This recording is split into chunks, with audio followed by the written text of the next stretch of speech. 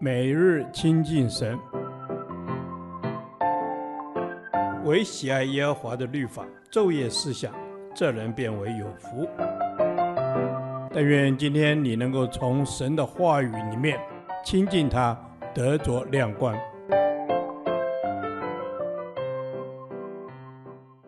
启示录第二天，启示录二章一至七节，以弗所教会。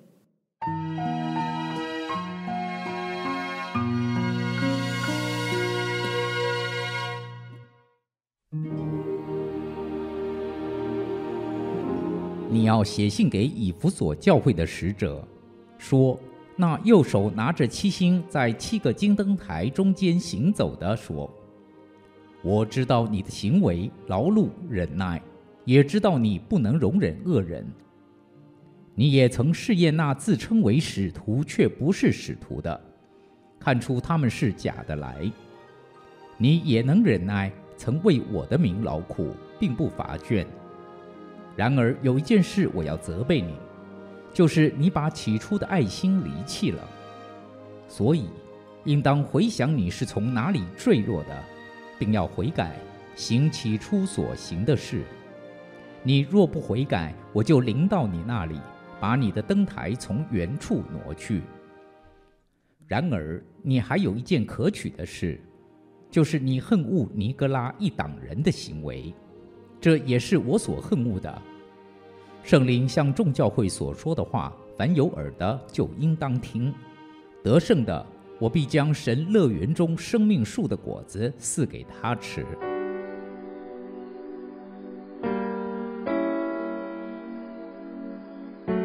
启示录从第二章开始，分别写信给七个教会。然而，每一封信都有一句重复的话。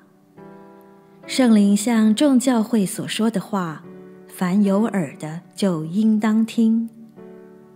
这告诉我们，信上所记载的不只是给两千年前小亚细亚的一间教会的信徒，而是给历世历代各地各方的众教会，当然也包括此时此地的你我。因此，读的时候，求主帮助我们，凡有耳的就应当听。第一封信写给以弗所教会。从这一段经文，我们认识以弗所教会是一间行为劳碌忍耐，也知道你不能容忍恶人。你也曾试验那自称为使徒却不是使徒的，看出他们是假的来。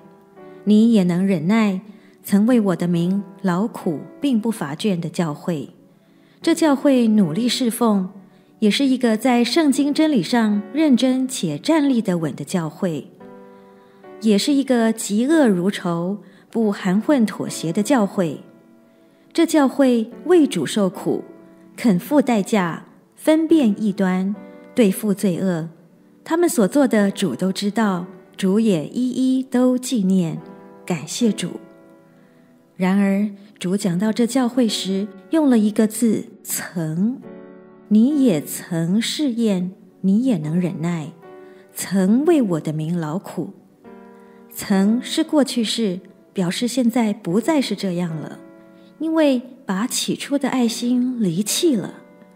一个曾经大大热心侍奉、为真理竭力争辩的教会，竟然冷淡退后了，真是对我们极大的警惕。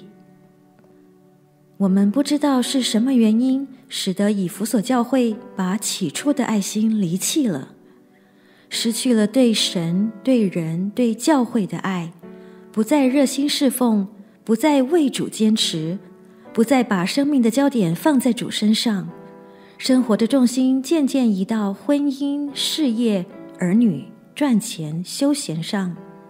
这些虽然都是重要的。但他们不该超越神在我们生命中的位置而成为首要的。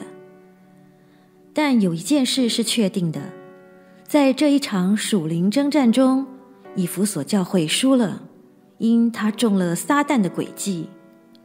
因此，神呼召他们悔改，回想从哪里坠落、偏离，一点一点失去爱神、爱人、爱教会的心。免得神把我们挪去，从恩典中出局了。愿主今天有话给我们，凡有耳的就应当听。求主光照提醒，帮助我从哪里跌倒，从那里再站起来，不中了撒旦的诡计。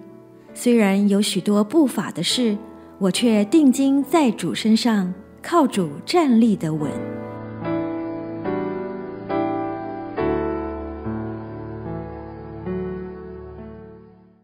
导读神的话，启示录二章四到五节。然而有一件事我要责备你，就是你把起初的爱心离弃了。所以应当回想你是从哪里坠落的，并要悔改，行起初所行的事。你若不悔改，我就临到你那里，把你的灯台从原处挪去。阿门。主啊，是的，你责备以弗所的教会说，他们把起初的爱心离弃了。主啊，我们也常常会离弃起初的爱心，常常软弱、灰心或是冷淡。求你帮助我们，在哪里跌倒，就从那里爬起来。阿门，主啊，是的，谢谢你提醒我们不要失去起初的爱心。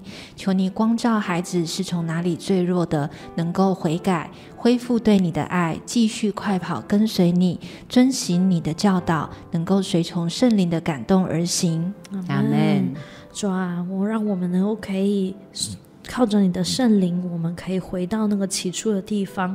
主，我们在哪里坠落的，我们可以在那里经历主你有医治、有恢复，也让我们能够可以悔改、回转向你。阿门。主啊，是的，你的恩典何其浩大，在你的爱里，我们可以得着医治，得着恢复，得着你起初所赏赐给我们的一切恩典。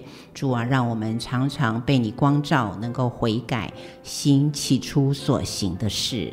阿门，主啊，是的，愿你来光照我们，能够常常悔改，回到起初的爱心。主啊，因为我们渴望一生走在你的心意当中。虽然生活中有各样的试炼挑战，求主兼顾我们的爱心、信心和盼望，让我们能够在主里面倚靠主刚强。阿门。主啊，是的，让我们常常依靠你，有信心，有爱心。主啊，让我们能够可以啊，常常做讨你喜悦的事情。主啊，不灰心，不丧胆。主啊，因为我们不想要失去从你而来的恩典和祝福。主啊，让我们能够可以常常在起初的爱当中，主啊，不离弃，奔跑向你。主啊，这是孩子的祷告，奉主耶稣基督的名求。阿门。耶和华。你的话安定在天，直到永远。愿神祝福我们。